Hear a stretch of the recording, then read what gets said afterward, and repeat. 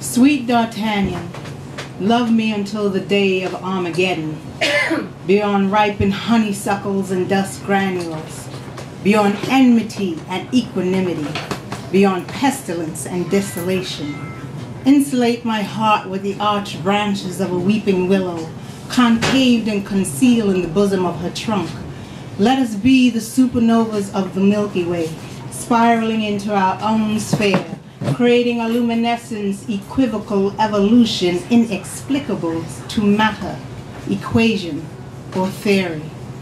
Remind me of love when all is nocturnal awakens. Sieve my insecurities and sacred thoughts. Make me whole to the fullness of the harvest moon. Stand before God, avowing your love for me.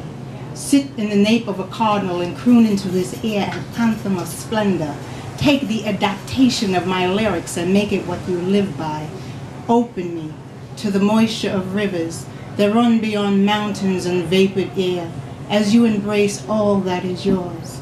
Love me as the sun sets and night cries her arrival song until the day of Armageddon when we will be no more. Yeah. Woo! That's a new one.